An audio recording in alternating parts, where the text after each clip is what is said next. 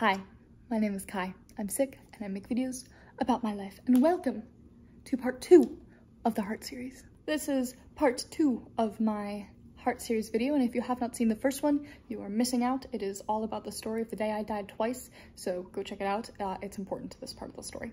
So this episode is all about my ablation. So I didn't actually explain what SVT was in the last video, uh, supraventricular tachycardia syndrome. Pretty much, you know, you have your heart um, and SVT just means that your heartbeat is going in the wrong pattern. Um, it's not going through your entire heart, it's only going through part of your heart um, and it's going super, super fast um, and it won't fill up with blood all the way, which is super dangerous. So that is the scientific what have you of SVT. Um, this is a specific type of heart arrhythmia. Um, this one is pretty dangerous uh, when it gets that high and that severe, but when it is lower, it's not quite as bad. Um, but because I had such a severe incident, they didn't want me to have another one like that. So we immediately, I booked a appointment with one of like the hospital's top cardiologists after my SVT episode. Um, and when I got in, he told me that we were going to do an ablation. Um, we were not doing any medications, we were not doing anything. We went straight to an ablation. So what my cardiologist was kind of telling me um, and what he assumed was the problem was the problem after he was like actually in my heart checking it out. So this is a heart, right? Um, with SVT, typically there's like a wire, so your heart is filled with electrical wires. Um, and that takes a signal down through your heart and back up and in between it, so it, it pumps and then it, when it's not in between each pump, it fills with blood. So the signal pumps it and then it fills with blood. Um, so that whole long signal is what gives you time between it.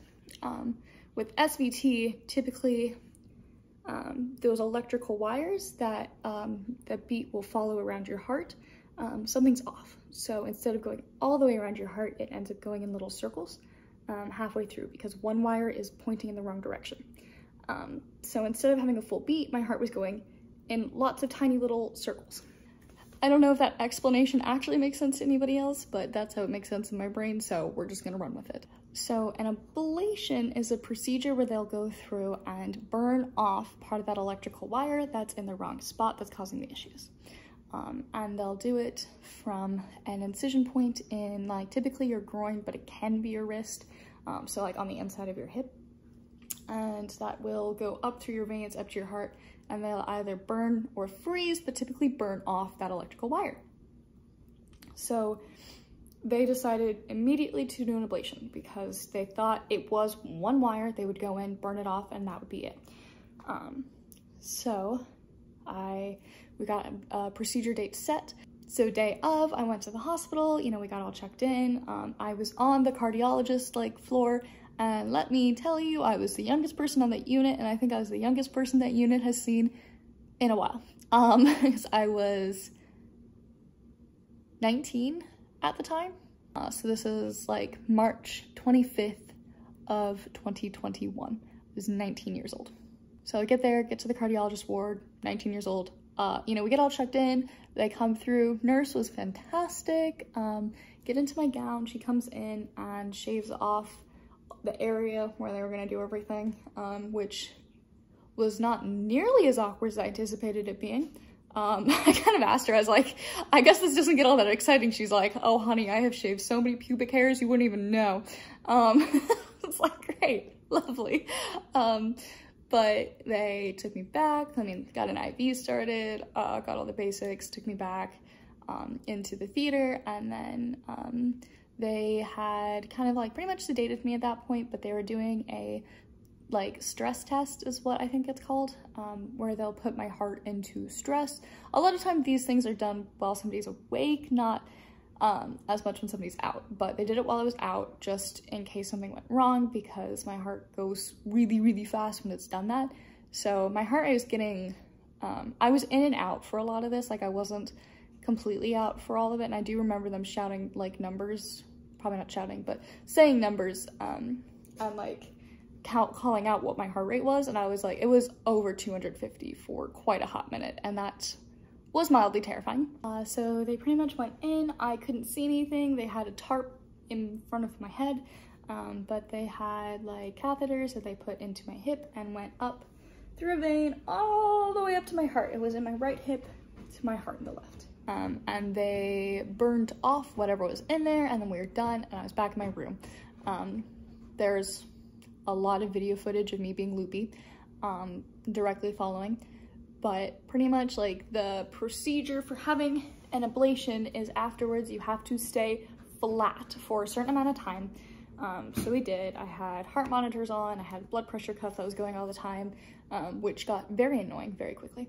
So I was flat for a while and then I got to sit up a little bit and you slowly move to an incline at certain set intervals as long as like your heart doesn't freak out. Um, so my mother was with me for this. She flew uh, to the States to help me and I convinced her to watch Yuri on Ice, which was fantastic. Um, it is the only anime I've gotten my mom to watch and she enjoyed it, so I'll take pride in that.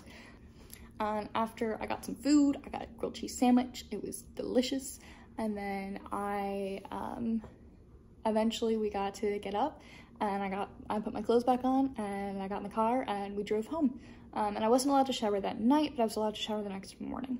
Um, so some things I definitely learned from this were do not wear leggings because the leggings were, um, I had like a bunch of like padding on my hip and I couldn't pull, like the leggings were too tight against it. So I would suggest super loose sweatpants or pajama pants. Um, I also had like fuzzy socks, but they were like the tightly knit ones. So they weren't easy to pull on. Um, it was really hard to bend at my hip. So get really loose fitting socks, like slides or flip flops or something you can like slide your feet in and out of super quickly. Um, and I like to have like shower wipes or baby wipes or something um, because hospitals are gross and germy and ugh. I like to have like baby wipes so instead of, because I couldn't take a shower that night, um, just to wipe myself off with. And then I also, um, my kind of like bandages were starting to fall off. Um, so I had some medical tape that I put on real quick, um, but I was able to take them off the next morning so it wasn't a huge deal. I will say I had some heart soreness afterwards. Um, so it's been a year and a half since my ablation and I will say I do every once in a while still get pain in my heart and I can tell like it's the exact same pain I had afterwards. Um, but it's never like awful or bad.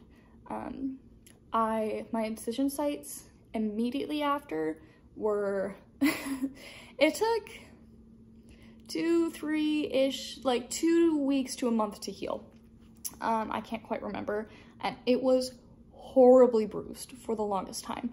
Um, like I had bruising going all over my hip. It was kind of gnarly. Um, I don't actually have any visible sc scars from it. Like I can still, if I look hard enough, I can find them, but they're super, super subtle. Like you won't see them in a bikini or something like that. Um, you're not allowed to like pick up anything heavier than like 10 pounds on your left side for like a week after the procedure, which was frustrating. And obviously your doctors are going to tell you all of this. They will let you know what you can and can't do. Follow their orders. Um, this was just what I had. This was all of my instructions and all that fun stuff. So that was my ablation story. Um, it was pretty fun, not a horrible procedure by any means. Um, and I have not had any SVT episodes since, but be on the lookout for the next episode uh, where I'll talk about kind of where I'm at now with my heart and um, what it's doing now because I have still had heart issues since then. Um, so subscribe so you don't miss it. Like this video, comment what if you've had a like ablation, how was your experience? Um, how did that go? Um, any other tips or tricks that you guys have for it? Um, and as always, uh, lots of love. Bye.